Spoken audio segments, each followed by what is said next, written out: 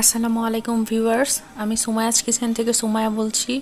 আজকে আপনাদের তৈরি করে দেখাবো প্লেন পোলাও বা সাদা পোলাও। এর জন্য যা যা উপকরণ লাগছে। এখানে আমি দু কাপ পোলাও চাউল নিয়ে নিয়েছি।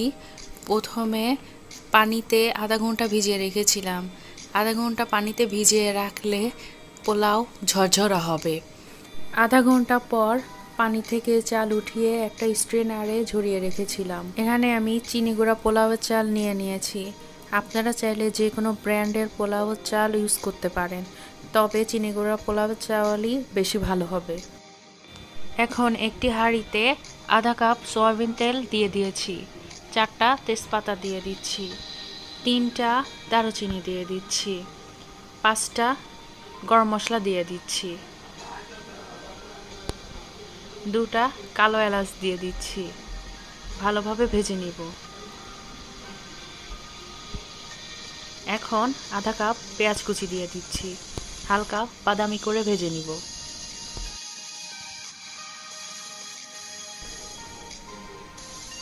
বাদামি করে ভেজে নেওয়া হয়ে গিয়েছে। এখন পোলাওয়ের চাউল দিয়ে দিচ্ছি।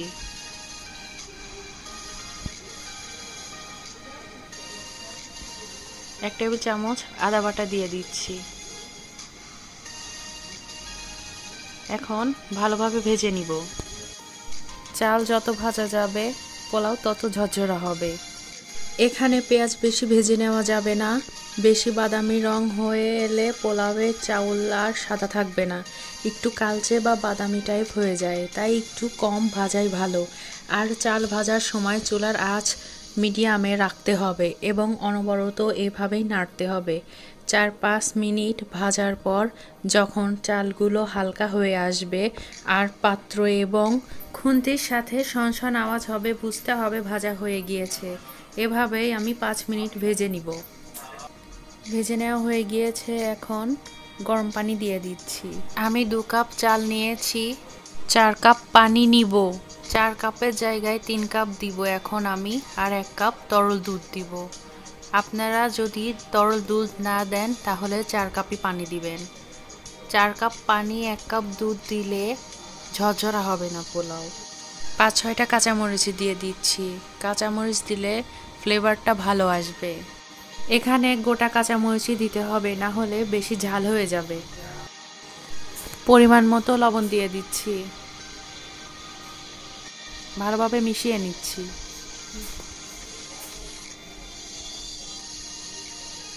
বলক উঠে আসা পর্যন্ত অপেক্ষা করছি। বলক উঠে এসেছে, এখন এক কাপ তরল দুধ দিয়ে দিচ্ছি।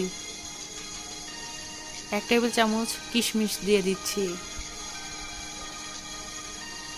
ভালোভাবে নেড়ে দিচ্ছি। পানি শুকিয়ে আসা পর্যন্ত অপেক্ষা করছি। পানি শুকিয়ে গিয়েছে। এখন একটু নেড়ে ঢাকনা দিয়ে ঢেকে দিব পাঁচ মিনিটের জন্য। পাঁচ মিনিট পর ঢাকনা উঠিয়ে দুই টেবিল চামচ ঘি দিয়ে দিচ্ছি। ঘি দিলে ফ্লেভার অনেক ভালো আসবে, খেতে অনেক মজা লাগবে। ভালোভাবে মিশিয়ে নিচ্ছি।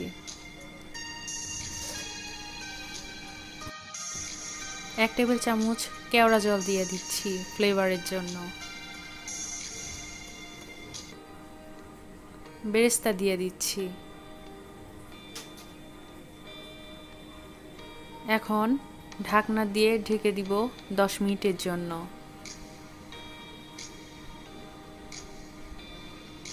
চুলা লোতে রাখতে হবে, একবারের জন্য ঢাকনা খোলা যাবে না এই দশ মিনিটের মধ্যে। ঢাকনা উঠিয়ে ভালোভাবে নেড়ে দিব। দেখুন, পোলাওটা কত ঝরঝরা হয়েছে। আপনারা আমার টিপসগুলো ফলো করলে আপনাদের পোলাও রান্না অনেক ঝরঝরা হবে। দেখুন, একটা ভাতের গায়ে আরেকটা ভাত লেগে নেই। এখন প্লেটে উঠিয়ে নিব।